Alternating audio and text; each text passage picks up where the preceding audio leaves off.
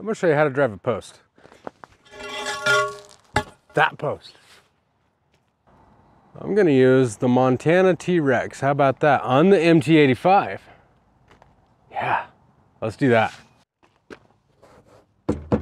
This bad boy, yeah. This is like the Bob Kitten of the Bobcats. It's small, but still feisty. Taxi!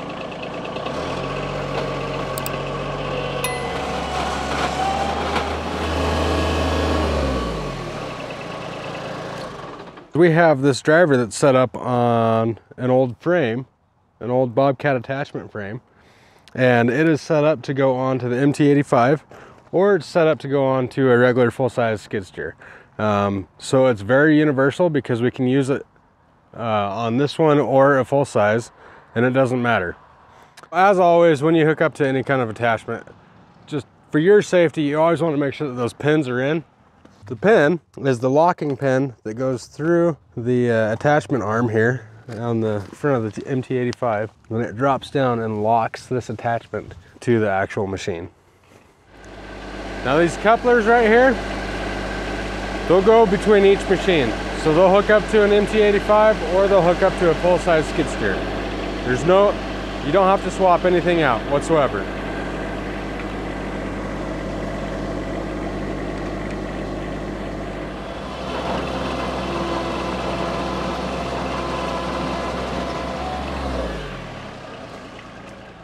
So this whole contraption right here, it was made in-house. It was made by us. Uh, we can't take 100% of the credit for it because, as Mark has disclosed before, he saw it somewhere else, and as he says, our best ideas are stolen, 100%. The nice thing about this is it's on a pivot. So this thing can travel straight down the fence line, the fence line being here, and that machine can travel straight parallel with it. And nobody has to move one straight line. It's awesome, it's easy, very convenient. And it can go on either side. It can go on that side, any position in the center, or it can go off to that side. I had an open, uh, had an open excavation, open, open trench on one side, and a narrow space. So this whole setup was perfect. Uh, there's no way I could have done it with a big size machine. So, so far it's paid for itself. Now this, this bad boy was not made in-house. This is a T-Rex Montana pounder, and it's awesome. We're just gonna show you just how awesome it is. The only downfall that I would say about this is if you're driving straight forward like this, like I just had it, uh, you as the operator, you can control this direction of that post while your ground guy is controlling this direction. It's really hard to see that post past the square piece. So driving off to the side is another benefit. Now we're gonna drive the post. Ready?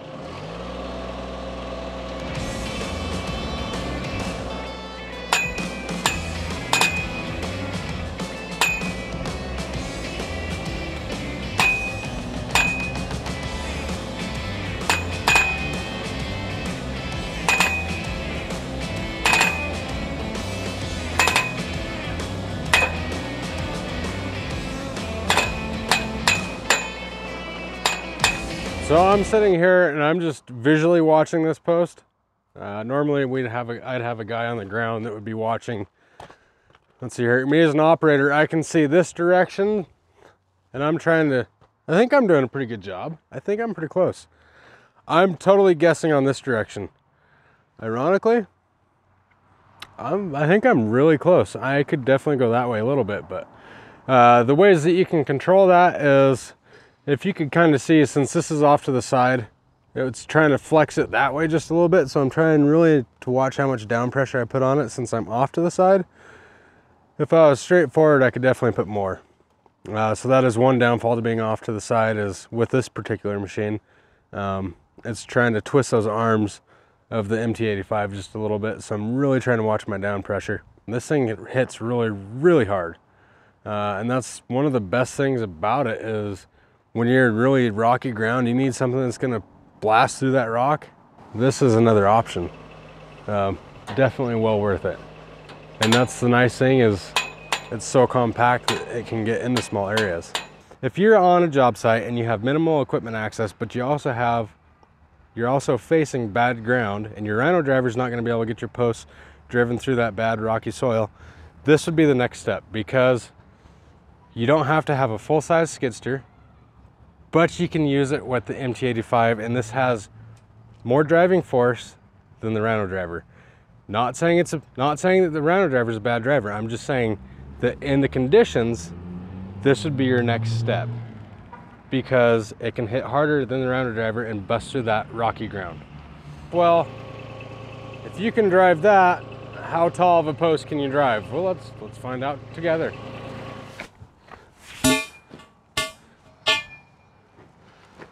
So you can easily drive a nine foot post the way we have this set up with the MT85.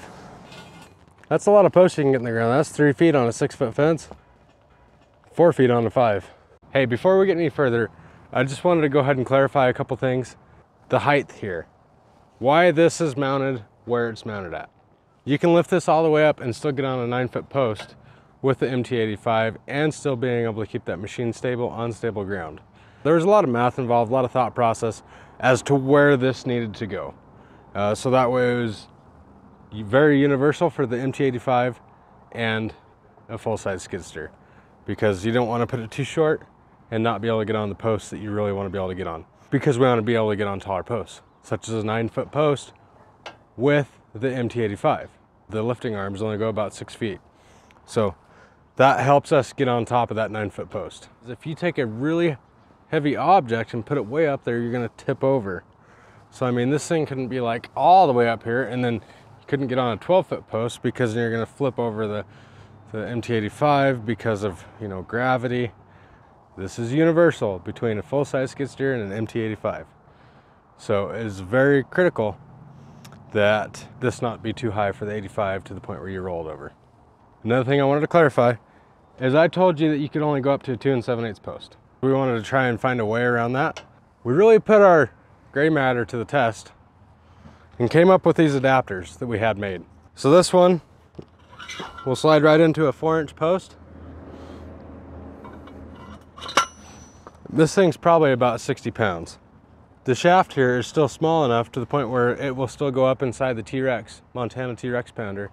And we can now drive a four inch post with this bad boy. So uses for this and when you would want to use it. So if you're in really tight spots, you're in somebody's backyard and you just, it's rockier than rocky and you can't get through it, that's the spot right there. And that's if you are not digging and setting. Tight areas, uh, rocky ground conditions, when you need something that's gonna hit a lot harder, say you're on top of a sandstone shelf and you have nothing that'll get through it, this definitely would. This is gonna hit just as hard if it was on MT85 or a full-size skid steer. The only difference between the two is how much down pressure you have on it. We do have the, the bigger Montana pounder and we, that is for the big machine. That thing's a beast. Because we like that one so much, we knew we were gonna like this one. And this one's beneficial because it's compact, it's small. We can go into big areas or small areas. So if you're looking for a pounder and the Rhino, you need just a little bit more oomph behind it, look into one of these bad boys. You have a good dang day.